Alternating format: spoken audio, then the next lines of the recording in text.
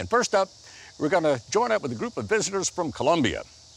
Not Columbia, Mississippi, but Colombia, South America, as they take their artistic talent to Clarksdale.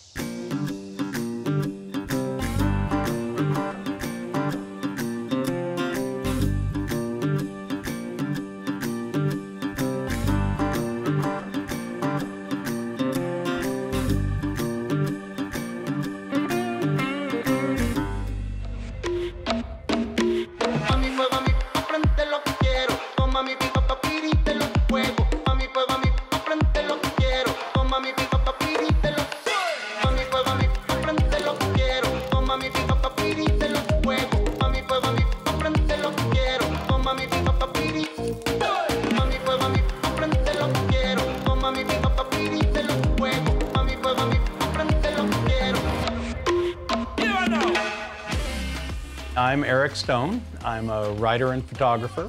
I first went to Bogota, Colombia to escape Christmas with relatives in the US and was taken by the massive amount and variety of street art in the city.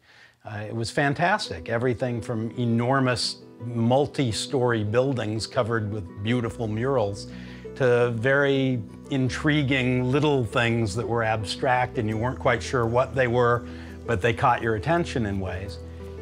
And also the interplay between the street art and the life of the city itself, the way the people interacted with it.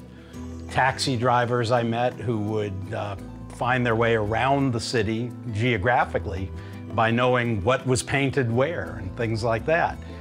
And also found some neighborhoods that had been very, very poor neighborhoods that began to clean up and people take more pride in the neighborhood because of the art that was appearing on the walls.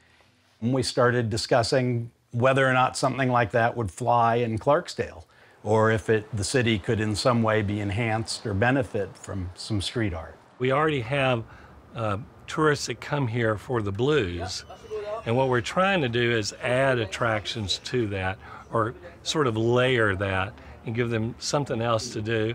And for instance, these people that are here now from Sweden, uh, hopefully they would take their time to walk, walk around uh, town.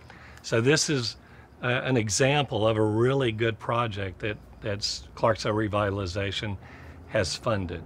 And we got enough money to bring four of the artists from Bogota up to Clarksdale to paint walls and do a workshop with local kids in one of the after school programs, uh, do a night of Latin dance music, a couple, the, one night each of the two weeks they'll be here, and hopefully work with local artists on the project and stimulate the arts in general in the area.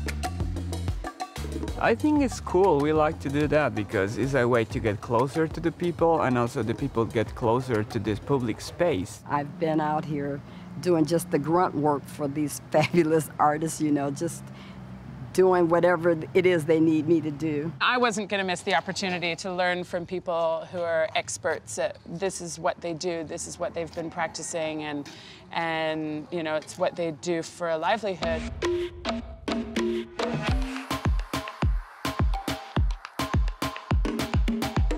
Right now we're trying to fix this small cracks in the wall because we need we want to get the, the, better surface we can get. Then we're gonna do the sketches and after the sketches we're gonna start filling colors and then details.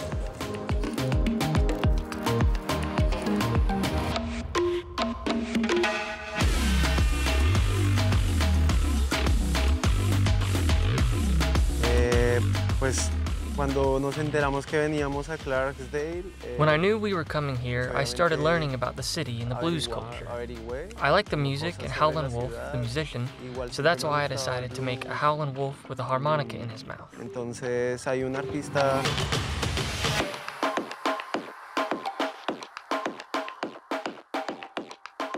Trato siempre de, de pintar mujeres I always try to paint females because I want to empower them.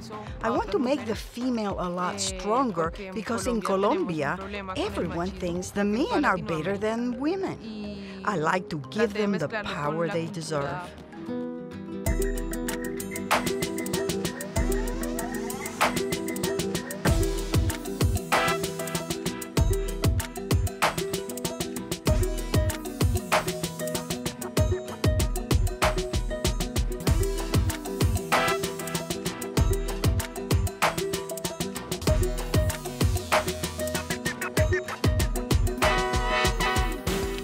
I was inspired in cartoons from the 30s and 40s and like retro cartoons.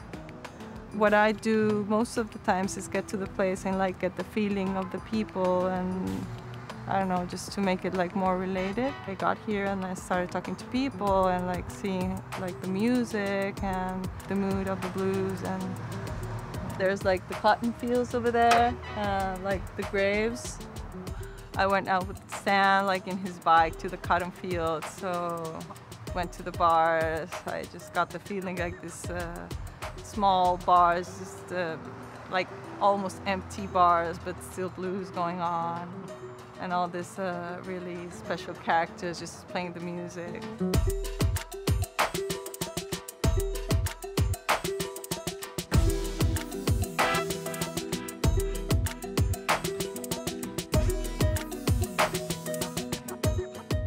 I think the way I like to paint is mostly like geometrical and abstract stuff.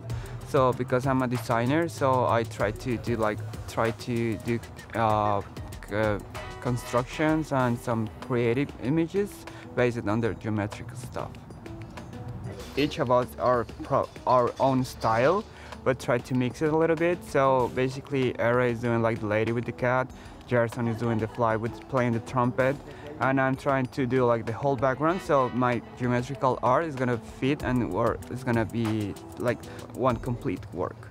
Okay, so we're gonna have five more minutes so you can finish your drawings and then we're going to the wall, right?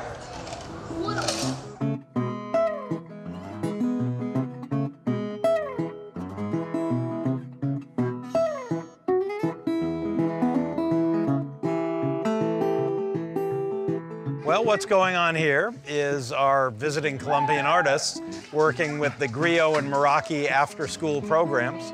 All four of our artists have worked with a lot of children in Colombia in different parts of the country, and they all like working with kids. So uh, it was one of the first things they asked me about was would there be an opportunity or reason for them to do some kind of workshop with kids while they were here. And we thought, good idea, set this one up.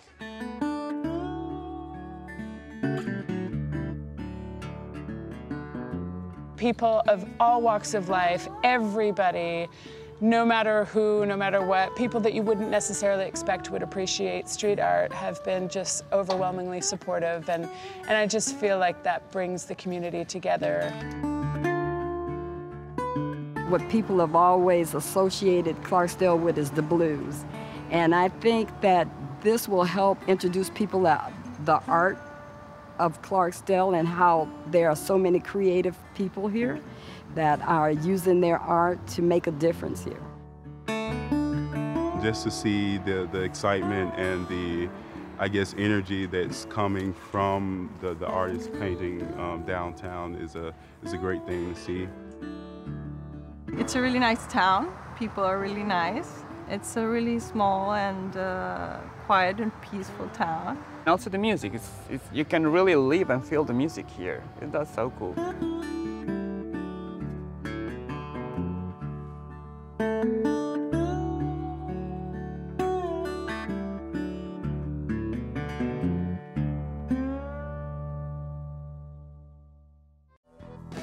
Thanks for joining us. If you like what you see, subscribe to Mississippi Public Broadcasting.